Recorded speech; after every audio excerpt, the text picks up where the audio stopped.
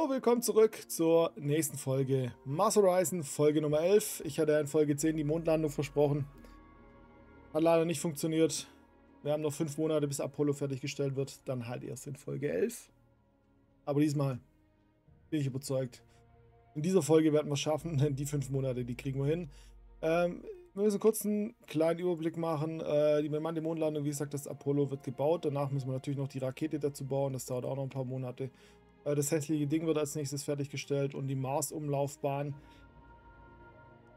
ähm, dauert noch einen Monat, dann kommt unser Satellit an. Da werden wir auch nur in Anführungsstrichen Zweiter sein, doch damit können wir leben. Und dann schauen wir mal, wahrscheinlich wird man den Jupiter-Vorbeiflug tatsächlich als nächstes dann auch gleich anstoßen. Wobei, da müssen wir noch mal kurz in die Forschung reinschauen. Was brauchen wir denn dafür? Ja, da brauchen wir noch die Voyager, Voyager-Sonde. Wer kennt sie nicht? Voyager 1 und Voyager 2. Ähm, wir haben gerade auch Missionskosten für äh, fünf Monate reduziert, deswegen werden wir hier ein bisschen was ähm, forschen, vielleicht auch schon die Raumstation. Oder der Mars Lander. Der Mars Lander wäre natürlich äh, für die Unterstützung sehr gut, für die Forschung nicht so gut. Wir schauen mal, wie weit wir hier kommen mit der Forschung. Also, lass uns loslegen. Nächster Monat. Attacke. So, Mars-Umlaufbahn haben wir, wie gesagt, die nächste Mission fertig. Dann ist unser hässliches Ding, unser Zäpfchen mit Antrieb fertig geworden. Trainingsbonus 100% und Startzuverlässigkeit. Ja gut, da gibt es Schlimmeres. Dann werden wir doch mal trainieren. Wir haben Zuverlässigkeit, ja, ist relativ niedrig. Startzuverlässigkeit können wir lassen, 75 ist okay. Ähm, hier kriegen wir halt 50%, wenn wir Forschung, immer auf Forschung riskieren. Mit 70% kommen wir voran. 100% äh, Erhöhung. Deswegen machen wir mal weiter. Startdatum setzen wir dann in den März, dann kriegen wir genau die 50% mehr. Das wollen wir natürlich schon alles mitnehmen. Datum wählen, Attacke. Mission bestätigen. So, zurück zum Mission Control, Mars-Umlaufbahn. Wir wollen natürlich den Bonus kassieren. Wir wollen mehr Unterstützung. Und deswegen machen wir das selber. Mission fortsetzen. Machen wir nicht automatisch. So, da ist der rote Planet. Unser Satellit soll in die Umlaufbahn hineintreten. Dritte Phase. So, erreichen der Marsumlauf. Wir brauchen vier Kommunikation, vier Daten und viermal Navigation. Acht, um es eben perfekt zu machen, mehr vier Runden mit je drei Befehlen sollte meiner Meinung nach machbar sein. Also wir werden auf jeden Fall einmal Strom hierfür ausgeben, einmal Strom hierfür ausgeben. Dann können wir einmal das ausgeben und dann haben wir danach 522. Damit können wir schon mal arbeiten. Kommando bestätigen, sofern alles funktioniert. So, Kommando 1 passt. Kommando 2. Ah, sogar Bonus, sehr schön. Nochmal ein Navi zusätzlich bekommen. Und Kommando 3 versagt. Okay, wir bekommen eins weniger, äh, ist okay. Nehme ich trotzdem an. So, jetzt haben wir 4, 2 und 3. Schauen wir mal, wie wir hier am besten zurechtkommen. Wenn ich das auswähle, habe ich 9. Und bekomme ich gleich 6, wenn ich zwei Strom mache, aber dann hätte ich es ja schon erreicht. Bräuchte ich quasi nur noch jede Menge Daten. Aber wenn ich das jetzt wiederum eingebe, da haben wir 6, 4, 4 und noch zwei Runden hinten drauf. Und dann mache ich wieder das, dann kann ich das nachher nochmal einsetzen. Dann haben wir jetzt 11, 3, 3, damit kann ich leben. So, Nummer 1 passt. Befehl Nummer 2 natürlich. Warum auch? Ähm, ich muss einmal Daten ausgeben. Ja, den Strom will ich mir behalten. Mache ich halt. Dann haben wir halt nur 11, 3, 2. Das ist natürlich ein bisschen blöd. So, jetzt gebe ich das aus. Dann habe ich 8, 6, 4. Dann gebe ich hier einmal Strom aus. Dann haben wir ähm, 8, 6, 7. Und wenn ich jetzt das hier noch ausgebe und in der letzten Runde sind wir bei 5, 9, 9. Und wenn ich in der letzten Runde dann das ausgebe, dann haben wir es geschafft. So machen wir das. Nummer 1, perfekt. Nummer... Oh, natürlich. Wa warum auch? Warum sollte es auch funktionieren? Äh, nehmen wir, geben ein zweites Mal Strom aus diesmal. So, passt. So, wie gesagt, 599 und jetzt gebe ich einmal das hier aus, dann haben wir 1088. Haben wir es geschafft. Zur Not nehme ich noch zweimal Strom mit, damit wir was auf Reserve haben. Kommando bestätigen, passt. Erfolgreich, wunderbar, 50% Belohnung mitgenommen. So läuft das gut. So, zweiter in der Marsumlaufbahn.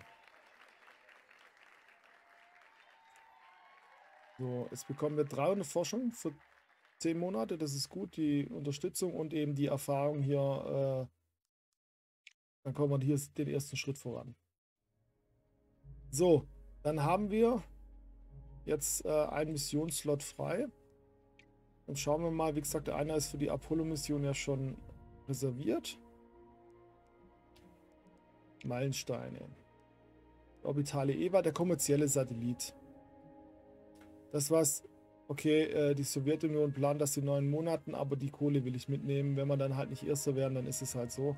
Orbitale Eva äh, sind wir die Einzigen, die es noch nicht gemacht haben. Wir sind auch die Einzigen, die Tiere im Weltall, glaube ich, noch nicht gemacht haben, oder? Ne, die Sowjets haben es auch noch nicht gemacht. Die haben es aber immerhin schon erforscht.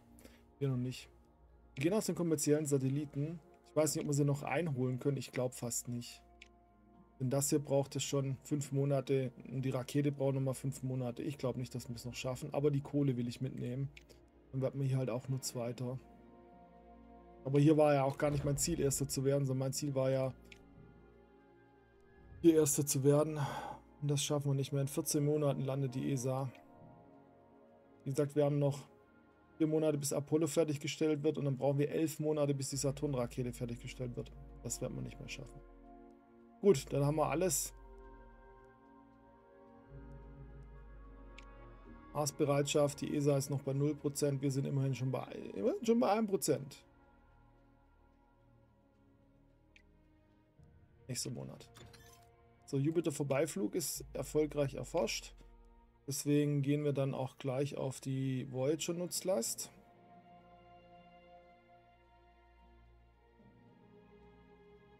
Oder auf den Mars Lander. Der kostet nämlich nur 1650. Ich habe nur noch für drei Monate. Gehen erst auf den Mars Lander, weil die Voyager, oh gut, okay, das kostet natürlich nur die Hälfte. Das kostet 4800, das wäre natürlich schon was. Wenn ich dann noch den Saturn-Vorbeiflug mitnehme mit der Voyager. Ne, wir gehen erst auf Voyager. In drei Monaten müssten wir das schaffen. Wir haben 700, kriegen 900 dazu. Ja, das reicht in drei Monaten. Das kriegen wir so hin.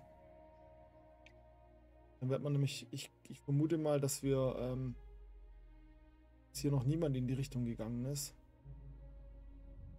Ne, es hat noch niemand irgendwas in der Hinsicht erforscht.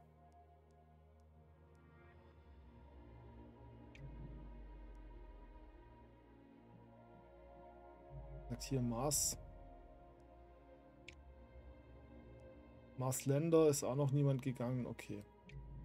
Nächster Monat. ESA wird bei meinem Monat in zwölf Monaten abschließen. Ja. Hat noch jemand. Okay, die Sowjets haben es jetzt erforscht, aber noch nicht in Planung. Schaut es bei unseren drei Sachen aus. Sonnenobservatorium.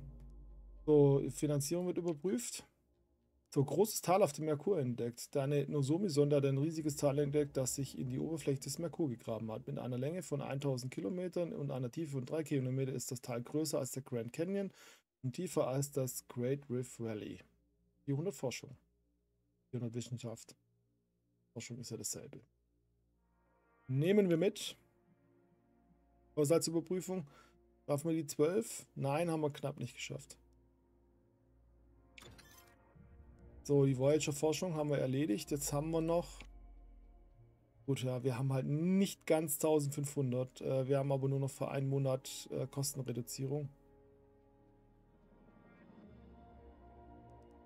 Da wir jetzt die Voyager-Sonde schon haben, soll ich jetzt auf Mars-Länder gehen? Da muss ich nämlich wieder zwei Sachen erforschen. Oder soll ich gleich den Saturn-Vorbeiflug machen und den mitnehmen? Und wir machen den Saturn-Vorbeiflug, dann da brauche ich nämlich nur noch das forschen.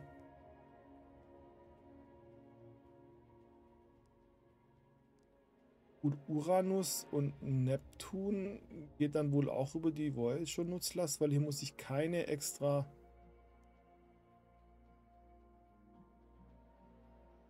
Was die große Tour, was ist denn das? Mit einer nuklearbetriebenen Langstreckensonde mit einer softwaregeplanten Flugbahn starten, die es ermöglicht, Jupiter, Saturn, Uranus, Neptun und Pluto zu besuchen. Äh, okay. Ja, das ist eigentlich das, was die äh, Voyager-Sonden eigentlich machen. Brauche ich auch keine extra Nutzlast dafür. Das läuft alles über die Voyager-Sonde. Okay. Bedeutet gut, hier muss ich dann runtergehen. Das werde ich dann auch als nächstes. Also wir machen jetzt den Saturn.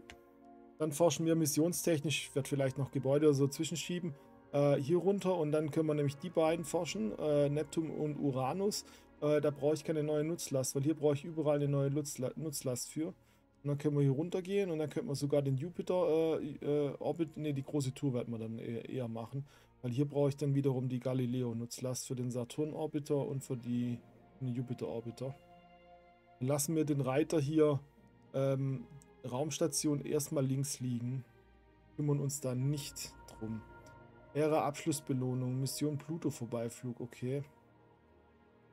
Das heißt, wenn wir 19 Technologien in dieser Ära ab hier erforscht haben, sind sehr viele, die geht bis hier.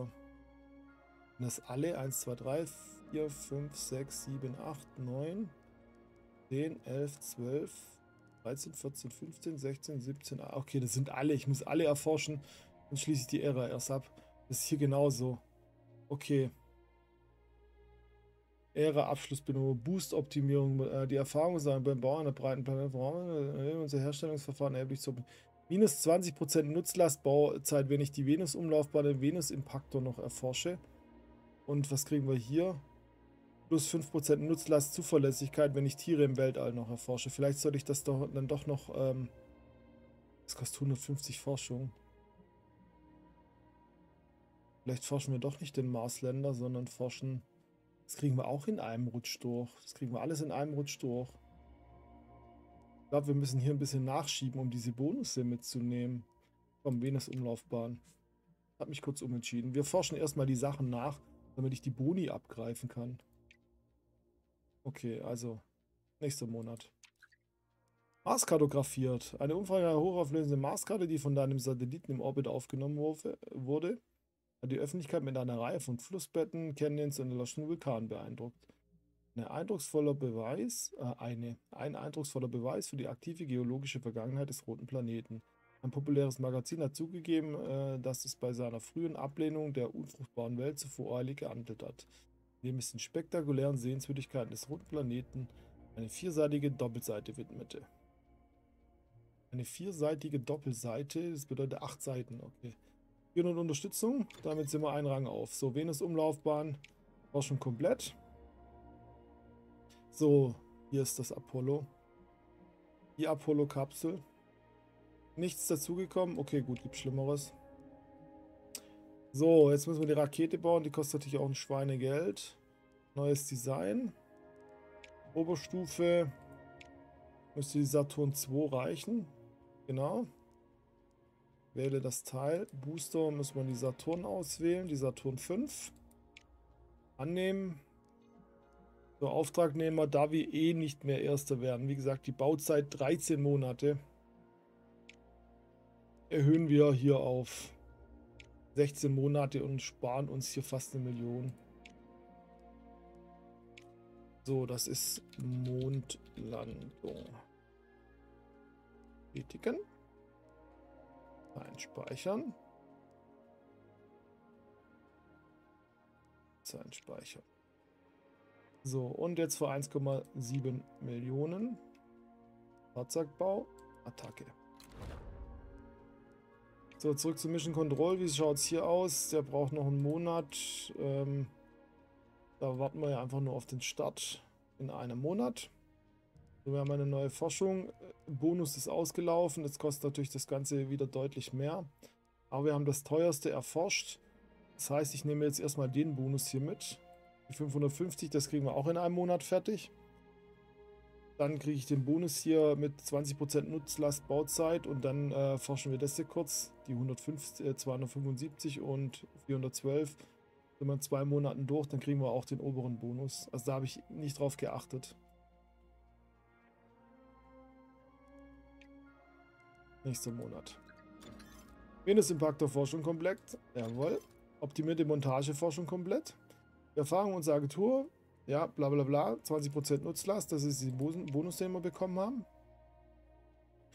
So, dann ist der Satellit fertig. Das ist sehr schön. Oberstufen-Baukosten sind höher, aber die Bau äh, niedriger, aber die Bauzeit höher. Na ja, gut. So, jetzt haben wir hier erstmal eine Aufgabe.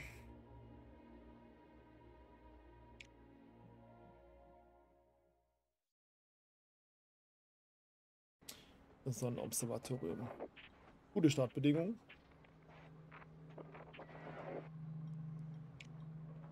Dass unser Zäpfchen ja gut startet, das wissen wir mittlerweile.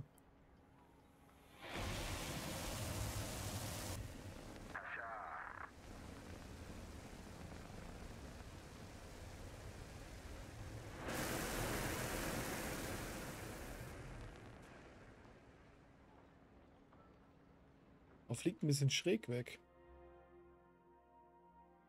Sogar ein sehr guter Start. Plus eine Runde in der ersten Aufgabe. Ja, wunderbar.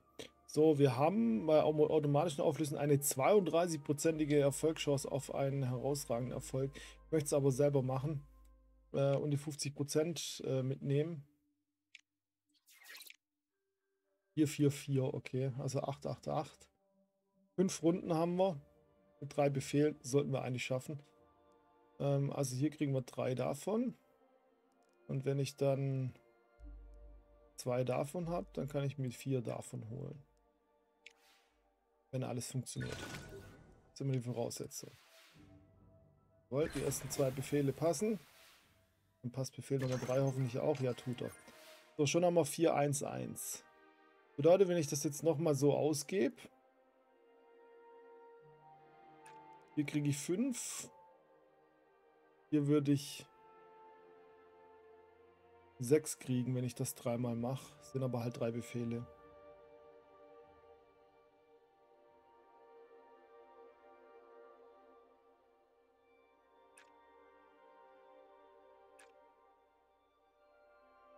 Soll ich das lieber so machen? Ja, wie gesagt, ich kriege ein weniger, wie wenn ich das dreimal ausführe, aber es ist halt nur ein Befehl. Komm, wir machen so. Haben wir 4,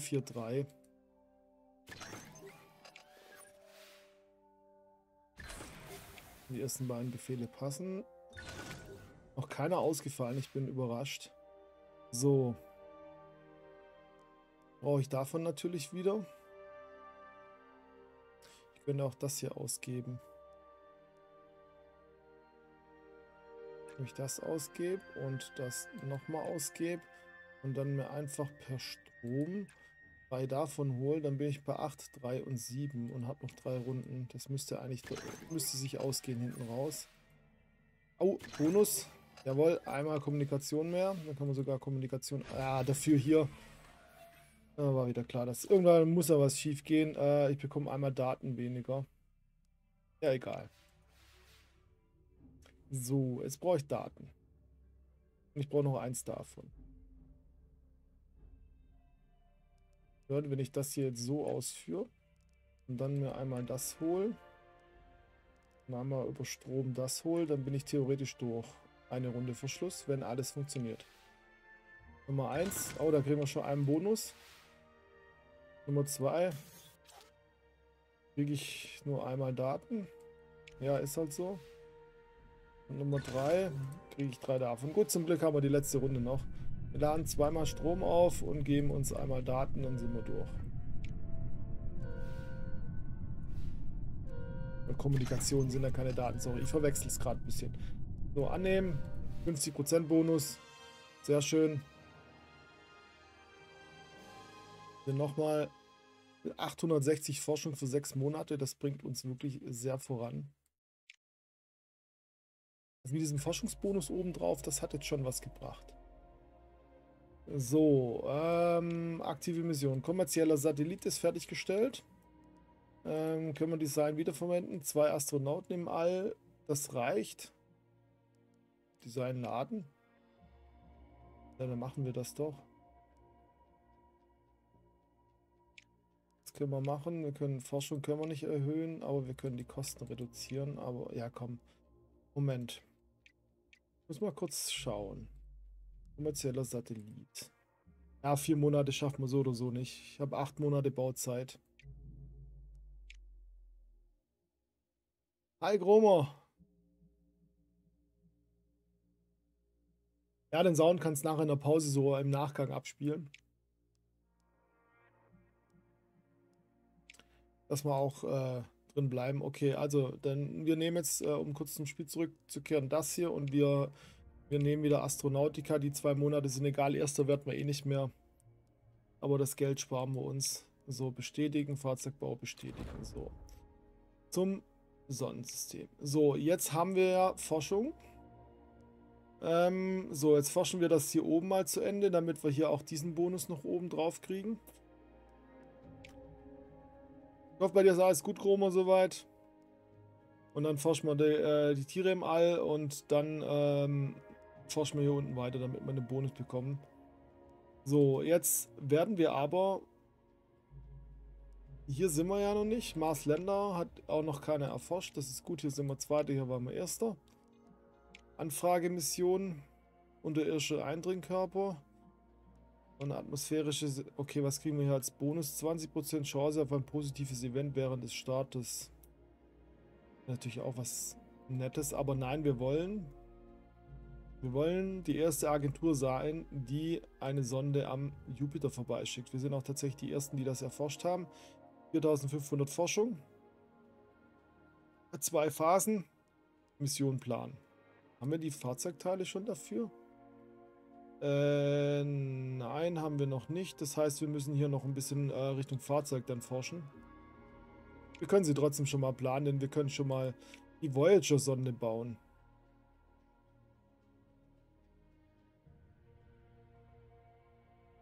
Sieht dann aus, wo ist die goldene Schaltplatte? Ist glaube ich hier unten drin, oder? Oder ist die, nee, ist das die goldene Schaltplatte? War die außen?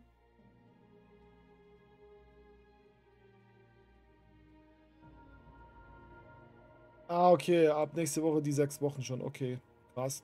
So, das Ding kostet eine Million. Das können wir uns gar nicht leisten. Ich habe momentan kein Geld dafür. Das ist natürlich blöd. Dann müssen wir dann doch noch ein bisschen warten damit. Wie gesagt, können wir nicht bauen. Müssen wir ein paar Monate warten. Gut ist dann halt so. Wie schaut es hier auf dem Mond aus? Bemannte Mondlandung. Die Russen haben immer noch nichts gemacht. Wir haben es ja in Planung bzw. im Bau. Die ESA kann immer noch scheitern. Also das wäre... Ist unten mittig drin. Okay, alles klar. Die goldene Schaltplatte. Sortiere im Weltall, Forschung komplett. Ähm. Okay, Ära Abschluss. Wenn ich hier noch vier Forschungen mache. Hier brauche ich halt auch noch. Was kriege ich dann? 5% Startzuverlässiger. Wenn ich. Wenn ich alles erforsche immer in der jeweiligen Ära. Hier sind, ja, wobei hier ist es nicht all. Doch, hier ist es auch alles. So, wir müssen aber trotzdem schon in dieser Ära weiter. Maß und darüber hinaus kriege ich einen Bonus-Booster, okay. Aber wir müssen ja jetzt hier erstmal... Moment, die Oberstufe haben wir hier ja schon. Die ist für die äußeren Planeten, genau. Jetzt brauchen wir aber auch den Booster, der die tragen kann. Wobei hätten wir ja 9000, aber die ist viel zu groß, Saturn-Booster. Brauchen, glaube ich, keine... Genau, die brauchen nur die mittelgroße Stadtrampe. Der Booster kann 14 tragen, der kann 16 tragen, der Delta kann 24 tragen und die Oberstufe, die wir haben, hat 9. Okay, Moment, jetzt muss ich mal kurz schauen. Wie schwer bist du denn? 900 Kilo nur. Also reicht die kleine. Dann reicht der kleine Booster. Da dran wäre erforderlich groß. Hier ist die Mittel, das ist auch deutlich günstiger. Delta ist die teuerste.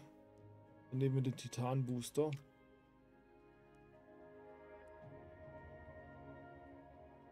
Ich habe auf diese Boni gar nicht geachtet. Zwei zusätzliche Auftragnehmer, 5% Startzuverlässigkeit, wenn man hier alles äh, erforscht.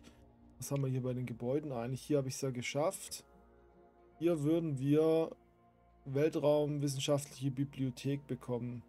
10% Unterstützung aus erfolgreichen Missionen. Aber da haben wir noch ein bisschen was vor uns. Hier müssten wir noch sechs Gebäude erforschen.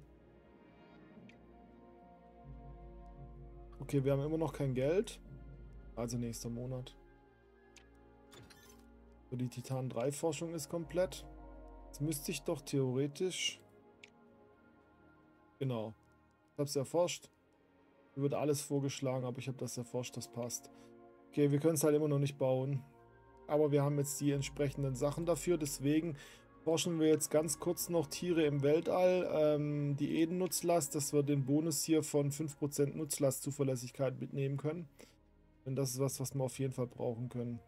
Das ist äh, schon edel. 20% Nutzlast Bauzeit. Das bringt einen schon voran. So, wir haben immer noch zu wenig. Deswegen gehen wir in den nächsten Monat. Edenforschung komplett. Fachkenntnisse im Raumfahrtsysteme Forschung komplett. Achso, ja, das ist jetzt eben dieser Bonus, den man bekommt. So, ESA wird bemannte Mondlandung in 6 Monaten. Sowjetunion wird in 21 Monaten starten. Okay, da sind wir früher dran. Denn wir sind in 12 Monaten mit dem... Echt, das sind 12 Monaten fertig? Okay, das dauert wohl noch ein bisschen. Äh, den können wir immer noch nicht bauen. Einen Monat müssen wir noch warten, bis wir die Voyager-Sonde bauen können. Also Forschung. So, jetzt ist die Frage. Ähm, forschen wir direkt hier? Ne, wir forschen erst die, den Saturn-Vorbeiflug. Oder will ich mir hier einen Bonus holen? Auftragnehmer wären schon nett. Die Startzuverlässigkeit nochmal 5 drauf. Brauche ich jetzt eher nicht. Ne, komm, wir gehen erstmal hier also wir werden so Saturn-Vorbeiflug erforschen, weil wir eben die Voyager schon erforscht haben und ich da nichts Extras brauche. Bevor wir auf den Mars-Länder gehen. Die Raumstation lassen wir erstmal links liegen. Wir werden sie später so oder so brauchen. Aber jetzt lassen wir sie erstmal links liegen. Also Saturn-Vorbeiflug bitte. Nächster Monat. So, Saturn-Vorbeiflug schon erforscht. Ach Gott, ich kriege gerade 1400 Forschung pro Monat. Krasse Sache. Okay, dann können wir auch direkt auf Marsländer gehen. Ist dann auch innerhalb von einem Monat fertig. Okay, das bringt uns gerade richtig voran. Das ist mir gar nicht so bewusst gewesen, dass ich so viel Forschung gerade äh, generiere. So, jetzt können wir nämlich die Voyager bauen. So, kommerzieller Satellit, wie weit bist denn du eigentlich? In sechs Monaten ist die Rakete fertig, da kriegen wir 3,5 Millionen. Das bringt uns weit voran. Also, ist ein Monat. Marsländerforschung. Okay, die Forschung geht jetzt ein bisschen runter. Nutzlast fester, dann können wir das auch schon machen. Gut, das wird jetzt ein bisschen länger dauern. Aber dann könnten wir die Mission theoretisch auch schon machen. Hat die jemand schon erforscht? Ich spickel mal kurz. Nein, Marsländer hat noch niemand äh, erforscht. Gut, könnten wir theoretisch wahrscheinlich auch, ja, können wir theoretisch auch mit diesen Boostern machen. Okay, wir sind, was das angeht, gerade relativ gut. Ich weiß jetzt nicht, worauf die KI geht. Ähm, geht die eventuell auf Raumstation? Ne, das hat auch noch keiner erforscht. Gerade den kommerziellen Satelliten. Ja, wie gesagt, die Russen haben es gewonnen.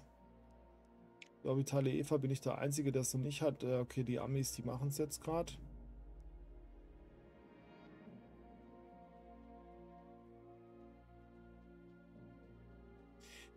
Zäpfchen Teil. Ja, Zäpfchen war schon.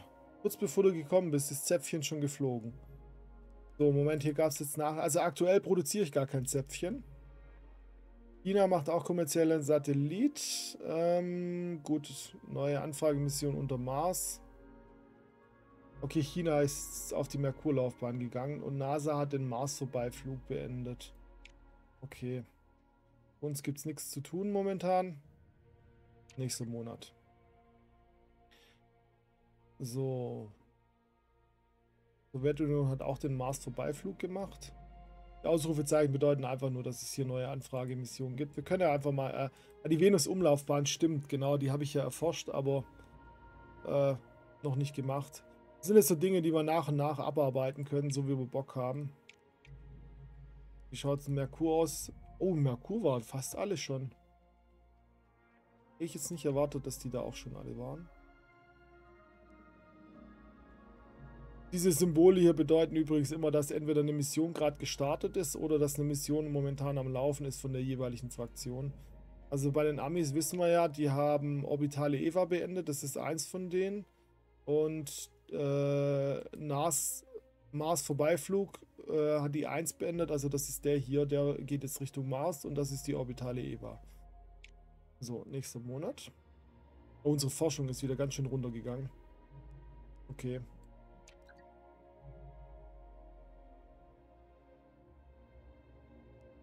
So, ESA startet bemannte Mondlandung nächsten Monat. Ja, ich weiß, leider. Währenddessen wird meine Voyager-Sonde fertig.